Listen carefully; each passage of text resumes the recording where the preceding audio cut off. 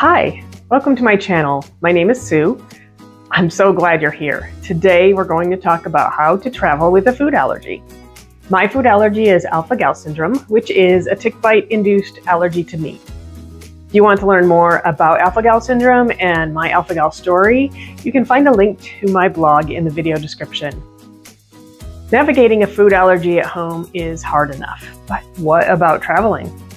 Is it even safe to travel with a food allergy? Does the thought of going on a trip amp up your allergy related food anxieties? It does for me. Nevertheless, I love to travel. I'm not going to let alpha gal syndrome stop me. I just have to be careful and thorough in understanding what I'm eating. I'll show you some tools that I use to make decisions about safe foods. I rely a lot on a phone app called Fig. This video is not sponsored by Fig. I just find this app incredibly valuable for safe eating, both at home and away from home. It can be used for any food allergy, but it does have alpha-gal syndrome specific category. I'll show you more about that later on in the video. With the help of the Fig app, a little knowledge of ingredients, awareness of my own sensitivity level, and some detective work, I know I can mitigate the risks enough to feel confident about travel. We're hitting the road and heading for Wisconsin to visit family. Normally, before a trip, I would prepare and pack a cooler with safe road snacks and drinks. Those snacks may include some fresh veggies, fruits, boiled eggs, crackers, sandwiches, etc. But for this trip, I decided to forego all of that and challenge myself to find safe foods along the way. I fully expected there to be times where I would not be able to find something to eat. But that was not the case. While my options were not always the healthiest of foods, I did find plenty of mammal free, safe foods. Come along with me, stop by stop, and see my decision making process for finding safe foods. My goal here is not to show you what's safe to eat, but to help you develop your own process of making decisions about what you will eat in any given situation. Having a plan, having a protocol for finding out if a food is safe or not is the key to staying safe. All right, let's hit the road. We started out, my husband Larry, myself, and our two dogs, bright and early on Wednesday morning. I brought along a travel mug of coffee from my kitchen, but no other food or beverages. Before we left town, we stopped at the corner gas station and grabbed a bottle of life water. Just like everything else, you need to know that even the water you're drinking is safe.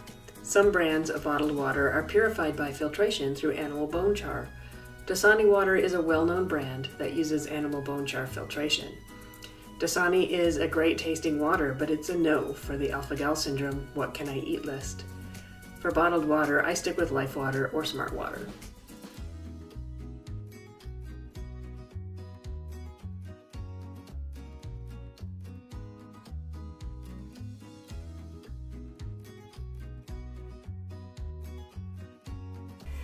First stop was in Iowa for fuel. When we travel with our dogs, we often take turns going into stores or restrooms so they're not alone in the car. So for this stop, my husband Larry filled the fuel tank and bought the one snack that he knows for sure I can eat Lay's potato chips. Lay's chips have my favorite kind of ingredients list. Only three simple whole ingredients, no big words that only chemists can understand, just potatoes, vegetable oil, and salt.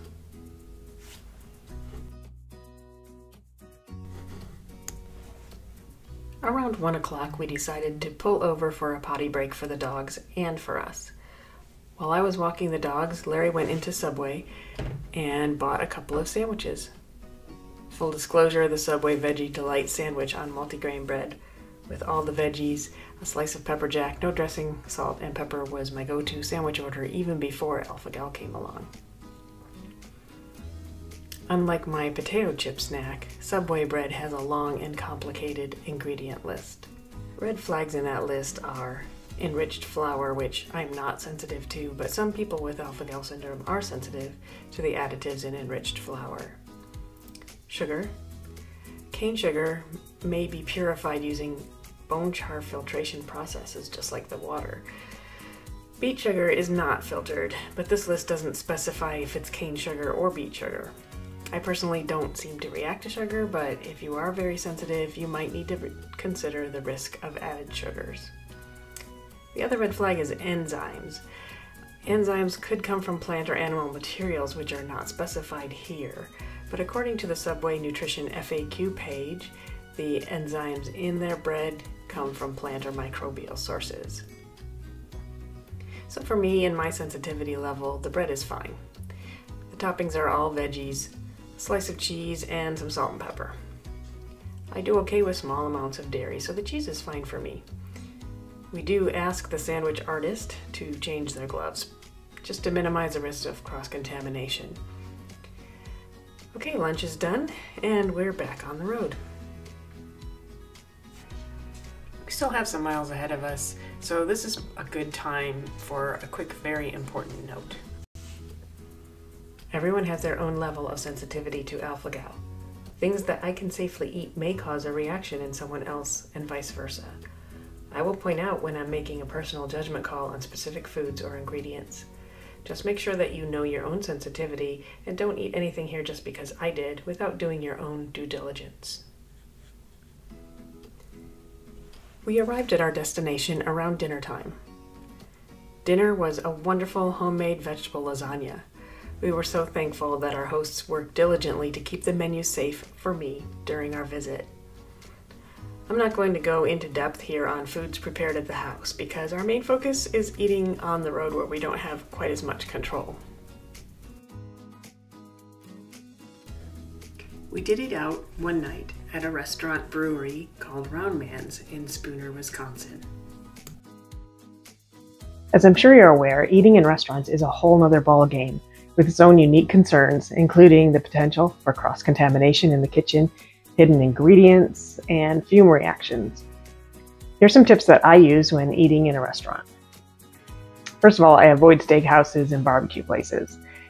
In any other restaurant where meat is served, I try to sit as far away from the kitchen as possible to avoid a fume reaction. I can pretty much tell when I walk in the door if it's going to be a problem, though. In that case, it's just better to go someplace else. When choosing from the menu, first I check for the salads. Most restaurants offer salads, which I order without meat and either no dressing or dressing on the side. If there's an olive oil and balsamic vinegar option, I'll choose that for dressing. If there's salad on the menu, though, at least I know I can order something. Next, I'll scan the menu for vegan and vegetarian options. Most of the time at restaurants, I'll go with vegan menu items. Uh, vegan options don't completely eliminate the possibility of cross contamination, but they do minimize the risk of hidden animal ingredients. Anything deep fried or grilled requires some questions of the server, cook, or better yet, the owner if you can have a conversation. Be kind, stay positive with the staff, understand that they are busy, but make sure you get your message across. Some good things to ask. If you're looking for something fried, ask what kind of fat is used in the fryer. Some restaurants use lard or beef tallow, which are not alpha-gal safe, but a lot of them use vegetable fats, which are safe as long as no beef, pork, or foods containing mammal ingredients are cooked in the fryer. Do not order anything fried if you're not sure. If you're looking at something grilled, that can also be a bit tricky. If they cook your grilled chicken breast on the same grill used for burgers, you can't eat that chicken. The same with pan seared or oven roasted, the pans or baking trays must be thoroughly washed after cooking mammal products. If you don't feel confident that the restaurant staff can be trusted to do this property, properly, order the salad. Lastly, a word about butter. Restaurants use butter for a lot of things because butter makes everything taste better. If you're sensitive to butter like I am, be sure to ask if butter is used for the menu item you want to order. I usually skip the breadsticks or table bread rolls unless I know they have no butter. I don't make a big deal out of asking, I just don't eat them. I do ask about butter for chicken, fish, seafood, or cooked vegetables, though, just to be sure. Okay, let's go back to Round Man's. They had salad options, uh, but looking further, there was a rice bowl that looked interesting, and also a roasted trout option. I spoke to the waitress and briefly explained my allergy before asking about specifics of the trout dish. She listened to my concerns and added an allergy note to my order, which she said would trigger a cross contamination protocol that involved cleaning the grill or pans. She also promised to confirm her answers to my questions with the chef just to be sure she was correct. All in all, I felt pretty good about ordering and eating the meal, and there were no late night alpha gal syndrome reaction surprises. Our time in Wisconsin flew by, and Sunday morning it was time to head home. Before leaving town, we made a stop at a Kwik Trip convenience store for some caffeine and snacks. Kwik Trip has a lot of grocery items to choose from, as well as typical convenience store fare. I selected a banana and a box of Triscuit crackers, along with a big cup of dark roast coffee. I chose the banana over the other available fruit options because sometimes prepackaged prepared fruit and vegetables can be coated with preservatives that may not be alpha-gal safe. So rather than take a chance, a banana got the vote. Let's take a look at Triscuits in the Fig app. Here are the results of the barcode scan. Triscuits, like Lay's potato chips, have a short ingredient list that makes them a good choice. Whole grain wheat, canola oil, sea salt. No big words or questionable additives. Awesome. There's one more thing I want to show you about the Triscuit labeling. See that U inside a circle at the bottom? That is a kosher symbol. I'm not an expert in all things kosher, but I do know that it means that meat was not cooked in or along with this product. So it's a good clue that this product is probably safe. We'll see the symbol on another label later in the video. Around 2 o'clock, we decided it was time for lunch. Again, because of the dogs, we didn't want to go inside and sit down in a restaurant. I opened my Fig app and looked at the fast food restaurants nearby with Alpha Gal safe menu items. Wendy's makes the safe list with several items, including their chicken nuggets, fries, and baked potatoes. Here we are again in the Fig app. Using the Restaurants tab, I selected search filters to include Wendy's. Then I chose all categories, so it would show me the whole menu. I chose chicken nuggets, no sauce, and fries. Chicken nuggets gets a green light. Clicking on the nuggets gets me to the ingredients information. In typical fast food fashion, the ingredients list is long and full of chemical words, but the Fig app makes it easy with a color coded, green is good, red is bad system for deciding if a food is safe. You can also click on the chemicals for more information about what they are. And here are the fries and the ingredients. Both the nuggets and fries get a green light. So while they're not particularly healthy, they were a hot and filling lunch, and I didn't have to worry about it making me itchy later. One last fuel stop on our way through Iowa, and Larry grabbed some almond M&Ms. A barcode scan in the Fig app came back yellow, which means it may be okay, but use caution. The flagged ingredients were sugar, which I don't seem to be sensitive to, and the dreaded natural flavors. Without more information as to what those natural flavors are, it could be a risk. But a little more detective work, inspecting the package, and there is the letter U inside a circle near the ingredients list. Remember that back from the, the Triscuits? This symbol means the product is kosher.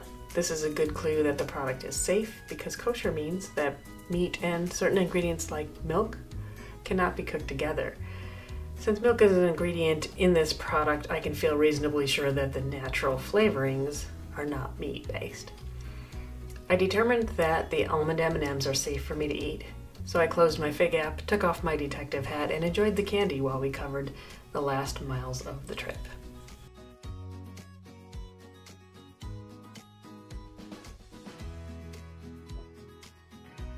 We're back home. The trip to Wisconsin and back was a success. A lot of fun, no allergic reactions. I learned a lot about eating safely on the road. I hope you did too. There are absolutely safe options to be found. I do recommend preparing and packing a cooler with healthy, safe foods whenever possible, but in a pinch, eating on the road is completely doable. Besides convenience stores and restaurants, don't forget the grocery store. Every town has one, and you can find a lot of familiar safe, ready to eat foods that you're used to having at home. Just like at home, it takes diligence and careful detective work to stay safe while traveling. Never be careless or complacent about what you put in or on your body.